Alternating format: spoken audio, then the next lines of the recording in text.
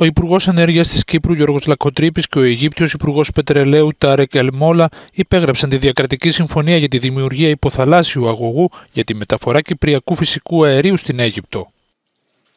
Όπως ανέφερε στην ομιλία του κατά την τελετή ο κ. Λακοτρίπη, η συμφωνία έχει ως στόχο να προωθήσει τη μεταφορά φυσικού αερίου από την Κύπρο στην Αίγυπτο, διασφαλίζοντας την έγκαιρη και ασφαλή ανάπτυξη, κατασκευή και λειτουργία απευθείας υποθαλάσσιου αγωγού διαμέσω των αντίστοιχων ΑΟΣ.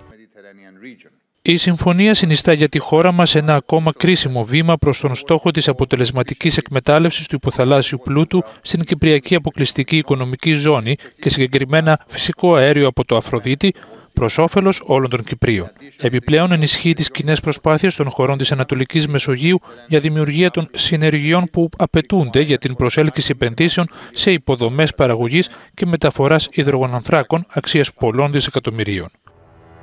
Κύπρος και Αίγυπτος δεσμεύονται για τη δημιουργία και διατήρηση των απαραίτητων ευνοϊκών συνθήκων για υλοποίηση του έργου συμπεριλαμβανομένης και της έγκαιρης έκδοσης αδειών. Η συνεργασία εντός της Μεσογείου βρίσκεται στην κορυφή των προτεραιοτήτων μας και θα παραμείνει στα επόμενα χρόνια. Η μακρόχρονη κοινή μας προσπάθεια είναι να οικοδομήσουμε μια εταιρική σχέση που θα βοηθήσει την περιοχή της Μεσογείου να είναι ευημερούσα. Σύμφωνα με πληροφορίες, η διακρατική συμφωνία με την Αίγυπτο ενδέχεται να χρειαστεί την έγκριση από την Κυπριακή Βουλή, κάτι για το οποίο ωστόσο αναμένεται σχετική γνωμάτευση από τον Γενικό Εισαγγελέα της χώρας.